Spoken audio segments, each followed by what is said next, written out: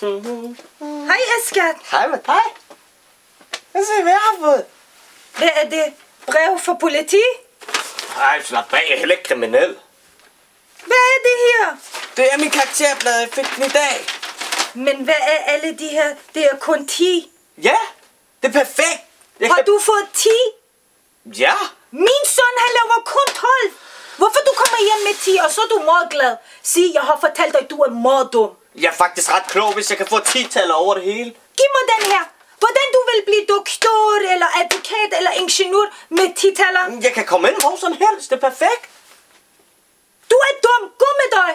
Nu Du op. kan komme tilbage, når du kommer tilbage med 12-taller. Gå med dig. Du har heller aldrig været tilfreds med noget. Mamma, hun er ikke sur. Hun er bare meget skuffet.